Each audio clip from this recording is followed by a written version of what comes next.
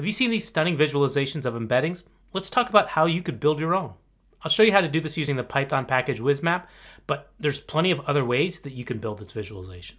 The first step is extracting embeddings. For doing that, we're going to use an embedding model that will give us a numerical representation for every data point. The embedding model will depend on what you're studying. In the past, I've shown Word2Vec. I've shown embedding models for working with Stable Diffusion. In this case, I'm using one that's based on movie reviews from IMDb. The next step is to take the embedding that we have and compress it down into two or three dimensions so we can visualize it. There's a lot of different dimensionality reduction techniques out there. P- TSNE, PCA. In this case, we're going to use UMAP, which is going to convert everything down to three dimensions for us. Now that we have everything in two or three dimensions, it's easy to plot it. In this case, with WizMap, we're going to create some JSON files and then host those JSON files to have that interactive presence on the web. And that's it. Go have fun exploring your visualization, starting to see what concepts are related to each other.